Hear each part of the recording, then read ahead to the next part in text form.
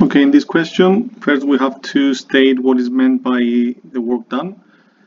So we know that the work done is the energy transfer.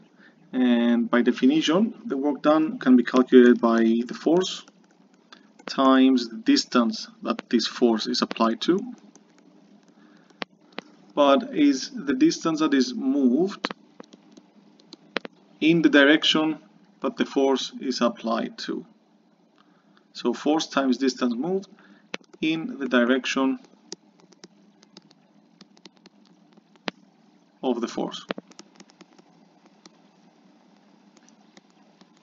So it's very important to mention that it's on the specific direction. Then we have a car of that specific mass that is traveling on a country road with 55 miles per hour and it's giving us here what is the equivalent for meters per second and the speed limit is 30 miles per hour which is that. And the force are the, the brakes are applied that um, that's applying a constant force of 3750 newtons. And we need to find the distance the minimum distance that this force should be applied until the the driver brakes to to avoid exceeding the speed limit. So how are we going to approach this question? First we need to calculate the kinetic energy before the driver applies the brake. So before braking, the kinetic energy is of course half times mass times the velocity square. If I substitute the numbers, that will be 1.5 times 10 in the power of 3 kilograms, which is the mass, times the velocity, which is 20 4.6 meters per second squared.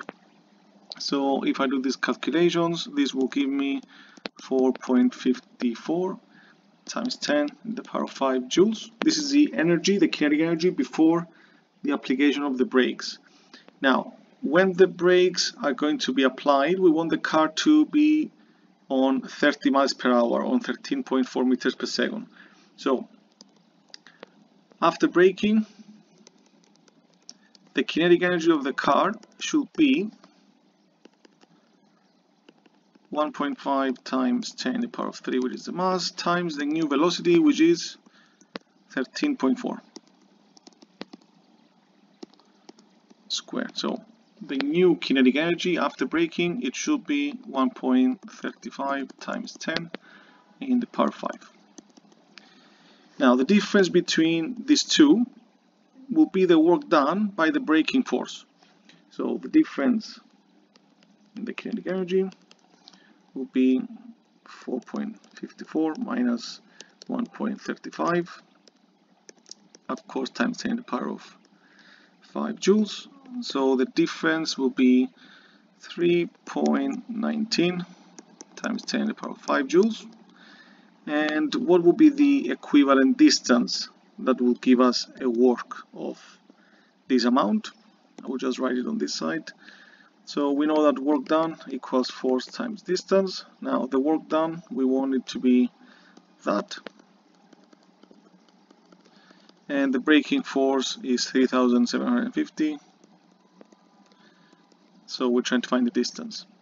So we'll be dividing both sides by 3750 and the distance we get, the distance that the braking force should be applied to give us this work, it, it's calculated to be 85.1 meters.